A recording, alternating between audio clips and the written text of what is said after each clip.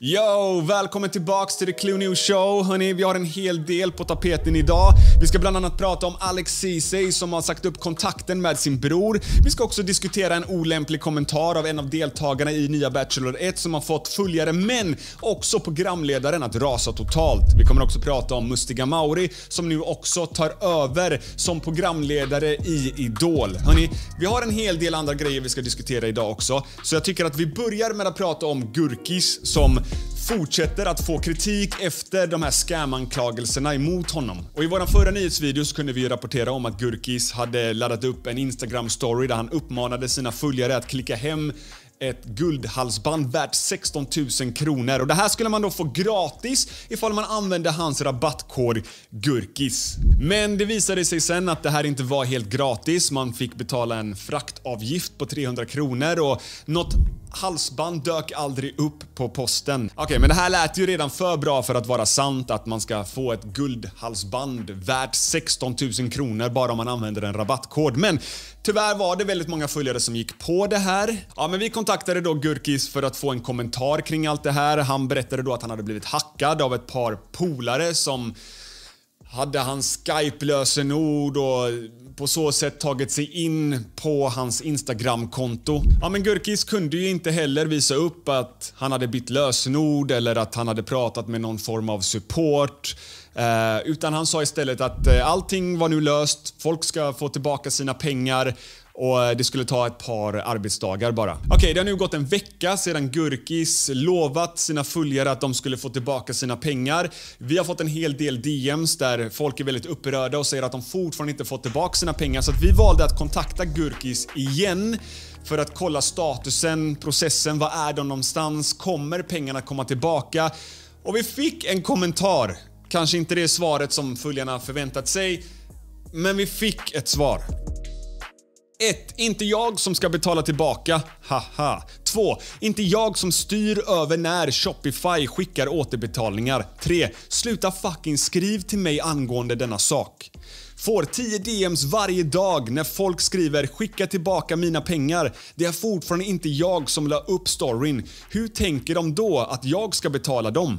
Alltså det här är så efterblivet ärligt. Okej okay, hörni, vi kommer att hålla er uppdaterade på vårt Instagram-konto eh, kring hela den här situationen. Men som det ser ut just nu så verkar det inte som att någon har fått tillbaka sina pengar. Och det verkar inte heller som att någon aktivt bakom kulisserna försöker att fixa till det här problemet. Okej okay, hörni, dagens video är ett samarbete med naturalhamplife.se och Natural Hamplife är alltså Sveriges äldsta och största försäljare av olika CBD-produkter.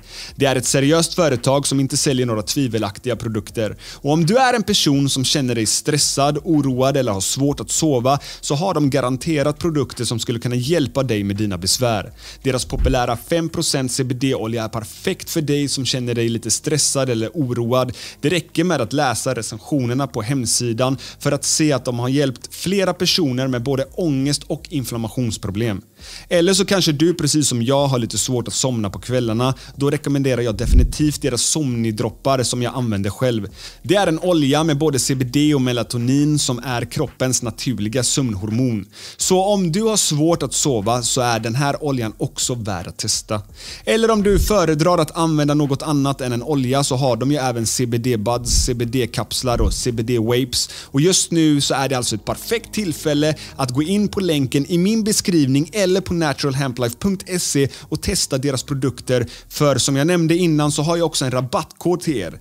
Okej, okay? ny kund ger er alltså 20% rabatt på alla Natural Hamplifes produkter på hemsidan. Tack ännu en gång Natural Hamplife som har sponsrat dagens video. Okej, vi går vidare och pratar om Alex Ceesay som har sagt upp kontakten med sin lillebror som även kallas för Lillen. Okej, hörni, sprickan mellan de här två bröderna är väldigt oklar. Det enda vi vet är att det har pågått under en längre tid. Lillen är nu häktad i sin frånvaro och därför har ju Alex fått en hel del frågor kring Lillen och nu har då Alex kommit ut och besvarat detta på en Instagram-story där han säger att han har sagt upp kontakten med Lillen. Ja, men jag kontaktade Alex för att få en djupare förklaring kring varför det är en spricka emellan Alex och Lillen. Alex skickade då in en, eh, en, en video till oss på Clue News eh, med en djupare förklaring kring hela situationen.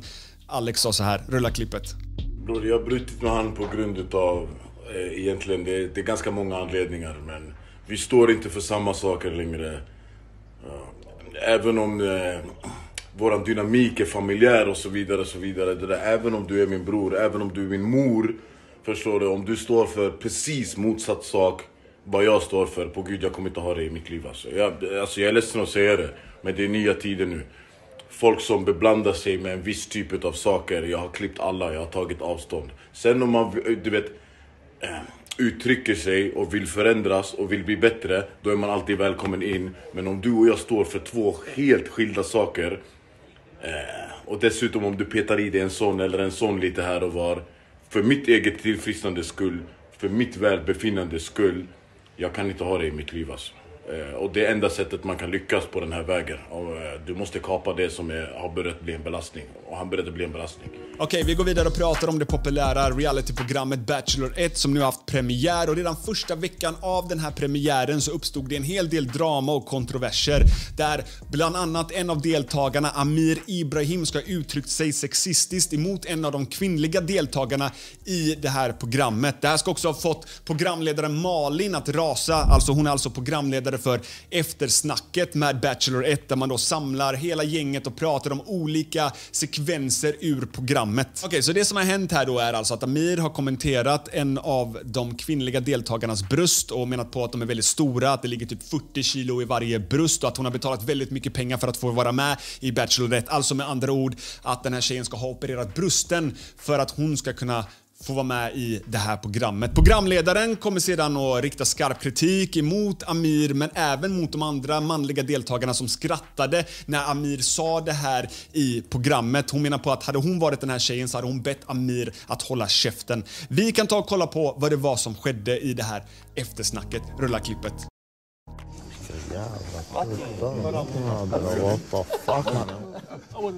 Anton, Anton, Anton, såg du hon som gick eller? Såg du hon som gick eller? Ja. Vilka vattenmeloner ja, alltså, Man fick bara med sig 40 kilo hit Vad var det där? Ja, kolla, det där är 60 alltså. Övervikt man hon betalar mycket för att komma hit alltså. Ja, ni skrattar ändå. Um... Det är ju kul, vi skrattar ju tillsammans. Jag, jag tycker Utom inte att det här känns kul. Och också bara var... ta med sig, tänker jag killar, att man bär ett ansvar som man och som killar i grupp och att vara tyst. Då säger man ingenting. Men vad hade du sagt? Jag hade bett dig hålla käften. Ah, okay. nice. Om du hade pratat sådär om min ah. kropp eller om någon jag känner mm. så hade jag bett dig hålla käften för det har ingenting med det att göra. Okay. Det är du. Ja, det är jag. Okej hörni, vi går vidare och pratar om eh, Mustiga Mauri som nu kommit ut och meddelat sina följare att han nu kommer att vara Per Lernströms sidekick som programledare i programmet Idol. Och den här rollen som Mustiga Mauri nu då tar över är alltså den rollen som Anis Don Demina hade förut när han var aktiv som programledare i Idol. Ni kanske undrar, vad händer med Anis nu? Jo, Anis kommer vara med i ett annat TV-program som heter Detektiverna som kommer att sändas på SVT Play. Men jag vill veta vad ni tror om Mustiga Mauris medverkan som programledare för årets upplaga av Idol. Kommer det bli en hiss eller kommer det bli en flopp? Ja, men kommentera det här nedanför. Okej, okay, vi går vidare och pratar om eh, komikern Claes Eriksson och hans flickvän Julia som förra året gick igenom varje förälders värsta madrum när de förlorade sin dotter vid födseln. De har nu ett år senare kommit ut och meddelat alla följare att de nu har blivit föräldrar till en liten pojk. Välkommen till världen lillebror Nils. Den 19 mars kom våran son Nils till oss här på jorden. Känner en sådan otrolig lycka och tacksamhet för att allt gått så bra och att du äntligen är här med oss och mår bra. Även om graviditet och förlossning var kantad av ständig oro och rädsla. Min son, mitt andra barn, att få höra ditt skrik under födseln är det mest förlösande jag varit med om. En sådan lättnad. Jag är så tacksam över att vi vågade igen och att vi äntligen fick träffa dig. Sorgen efter stora syster Elsa som vi förlorade förra året lever kvar med oss varje dag och ett nytt barn kommer aldrig ersätta ett annat. Men efter ett år med eh, oändlig sorg och förtvivlan så känner jag just idag en enorm glädje för att Nils är här i våran lilla familj. Okej, vi går vidare och pratar om Ben Mitkus osmakliga aprilskämt. Okej, Ben Mitkus kom ju nyligen ut på Instagram, men även på TikTok där han bad om ursäkt för ett väldigt kontroversiellt aprilskämt. Tydligen ska Aftonbladet, Nyheter 24 och alla nyhetsmedier snappat upp det här och jag ska inte ljuga. Jag gick på det, okej? Okay? Han satte mig i arbete, jag började googla, jag, jag, började skriva till varenda jävla influencer i Sverige för att få reda på vad fan det var Ben hade gjort, okej? Okay? Men någon som inte gick på det däremot var Arman, okej? Okay? Fråga mig inte hur han listade ut att aprilskämtet var att han bad om ursäkt för att han gjort ett kontroversiellt aprilskämt. Men fuck it, Arman vet typ allt. Arman är typ den smartaste människan på sociala medier. Ingen kan lura Arman. Bror, säg till dem, kan man lura dig Arman? Nej. Exakt, ni hör. Okej, okay, men jag måste ändå ge Ben att det här var next level aprilskämt. Uh, tummen upp till dig. Uh, den var fan riktigt jävla bra. Okej, okay? inte så här trött aprilskämt som många andra gör på sociala medier som typ bara är obvious. Okay? Men Ben Mitkus i alla fall kom ut igår efter att han varit tyst väldigt länge kring det här aprilskämtet och, och basically ja, avslöjat till sina följare att hans ursäkt kring ett dåligt aprilskämt var aprilskämtet. Okay? Än idag när jag förklarar för följare att hans ursäkt var aprilskämtet så förstår de inte. Så att jag tänker det är därför jag tar med det här i nyheten också. Vi kan kolla på vad det var Ben sa i rulla klippet. Och jag tänkte, vad kan jag dra för prank mot mina följare på sociala medier?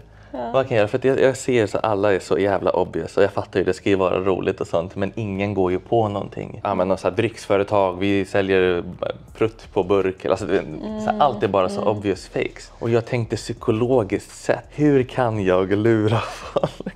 Och jag lyckas så jävla bra. Jag har inget aprilskämt, men jag har gått ut på mina sociala medier som att jag har gjort värsta skämtet. Aftonbladet tog upp det, TV4 har tagit upp det och sen så har jag lagt ett inlägg nu där jag ber om ursäkt. Jag bara så här, shit, det här pranket kanske var, eller det här aprilskämtet var lite överstyr, väldigt osmakligt. Jag ber om ursäkt för att eh, jag, jag tänkte helt fel. Eh, det är inte roligt att skämta om det här. Min DM är verkligen fylld nu med folk som bara säger vad, vad har du gjort? Vad har du gjort? Vad har du gjort? Är det sant? vad var skämtet? Han aldrig se. Vad har jag missat? Vad var skämtet? Vi förstår inte. Vad var skämtet? Vad skämtar du om? Så här, frågetecken. Vad missar jag? alltså, okay. Yes! Där fick alla i sig.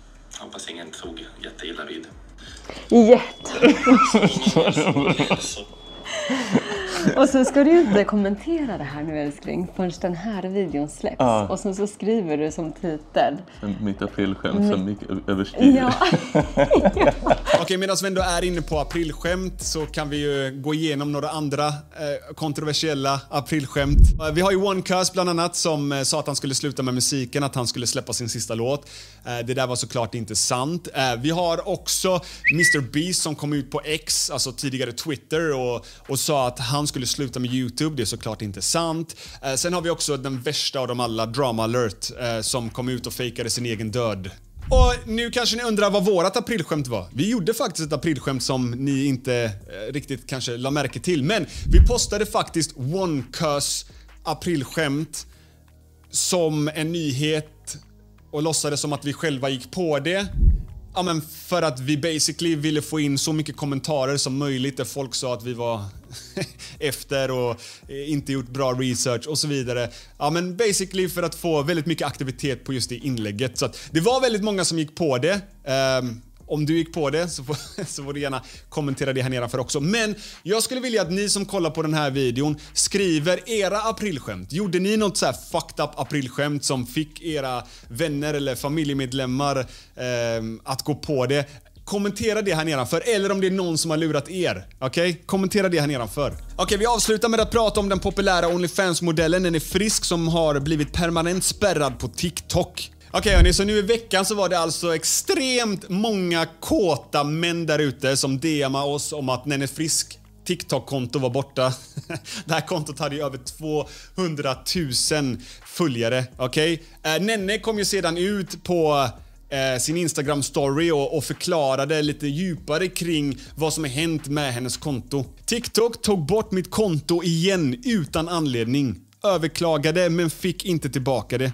Har ett konto till så alla bara in och följ så bygger vi upp oss igen. Okej okay, men hörni, Nenny Frisk är nu alltså tillbaka på TikTok med sitt backup-konto om det är någon av er som vill följa Nenny Frisk och hjälpa henne bygga upp sitt konto på nytt. Men som det ser ut just nu så kommer hon alltså inte få tillbaka sitt main-konto med över 200 000 prenumeranter. Okej okay, hörni, det var allt för dagens video. Om ni gillat den får ni väldigt gärna tumma upp klippet, kommentera någonting nice. Kommentera också med respekt i kommentarerna, okej? Okay? Så ses vi i nästa video.